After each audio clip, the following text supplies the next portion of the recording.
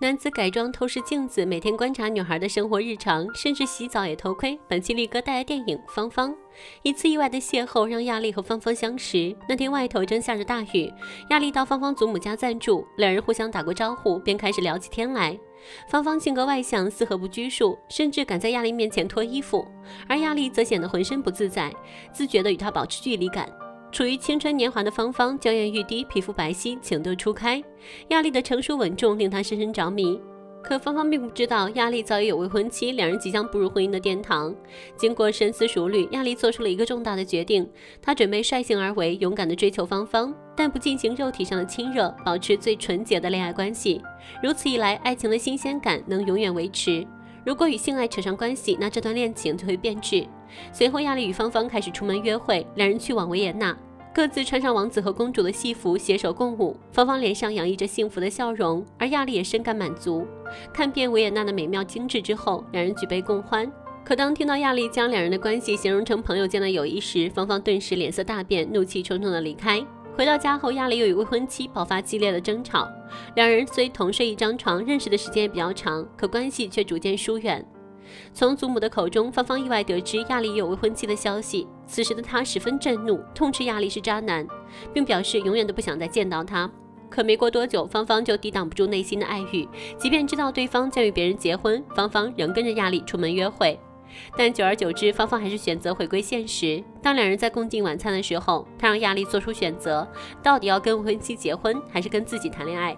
亚丽一时讲不出答案。晚餐进行到一半，亚丽说想去洗手间一趟，结果一出门就到药店买了一罐迷药。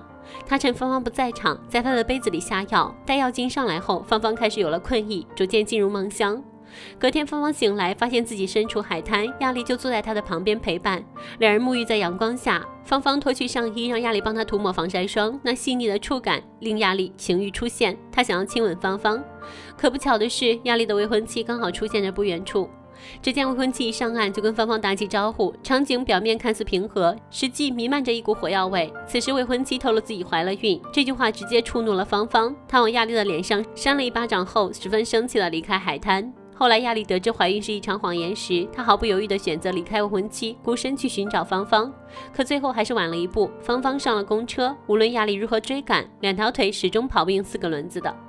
那亚丽并没有想要放弃，于是想到一个猥琐又浪漫的办法。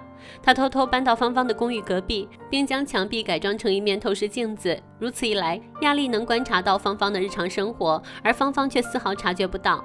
日复一日，亚丽看着芳芳在房间独舞，躺在浴缸里泡澡。这种隔空同居的方式令亚丽感到格外享受，既能见到时刻想要见的人，又不必进行肉体上的接触。有一天，芳芳约亚丽出来见面。等到赴约当日，亚丽深感失望，原来芳芳还带来了她的前任保罗。三人乘着火车去往芳芳的祖母家中，一起共进餐宴。在火车上，趁着保罗去拿果汁，亚丽告诉芳芳，未婚妻怀孕只是谎言，两人已经分手，不会再有婚约。可芳芳听完后却不为所动，反倒显得十分的镇静。到达目的地后，大家一块吃着午餐。用餐过程中，保罗说出将与芳芳结婚的消息，这无疑给亚丽造成巨大的打击。她强忍着情绪，等回到公寓，她就开始收拾行李，准备离开。可在这时，通过透视镜，亚丽才知道，刚刚一场表演，芳芳故意找来保罗，只是为了让亚丽吃醋、生气罢了。希望在亚丽内心再一次燃起，但是终究纸包不住火。不久，芳芳知晓透视镜的事情，两人隔着镜子互相吐露出真实的想法。亚丽之所以害怕肉体接触，主要是由于在童年留下了不可磨灭的阴影，而芳芳却不想再忍受下去，她想要抚摸亚丽的肌肤，感受到心上人的气息。芳芳要求亚丽明天十点到我房间来，否则你就别想再见到我。为不错过这一场爱恋，亚丽成功克服了过去留下的恐惧。